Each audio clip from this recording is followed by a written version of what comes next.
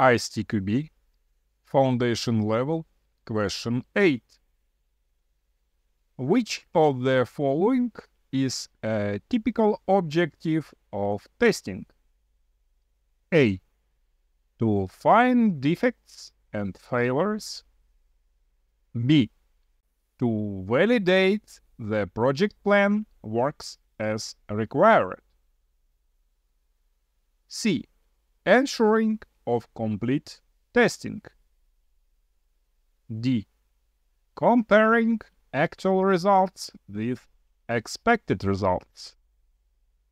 Please press pause to choose your own answer before you see the correct answer on the screen.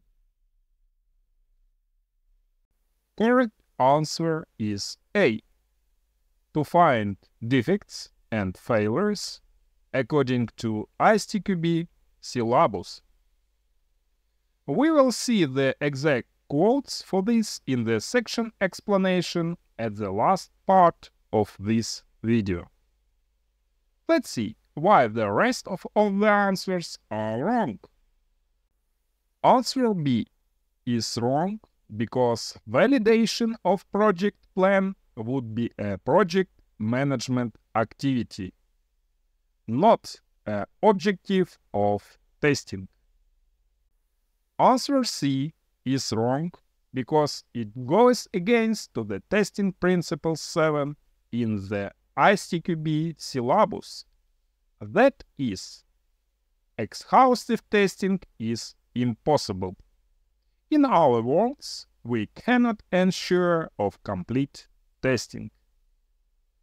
Answer D is wrong because it is a test performing activity but not a test objective. Please do not confuse these concepts. Explanation.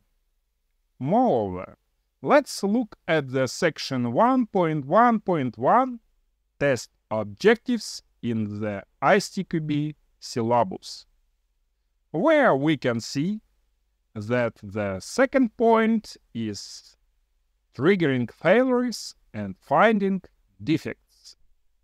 This is fully consistent with the correct answer A.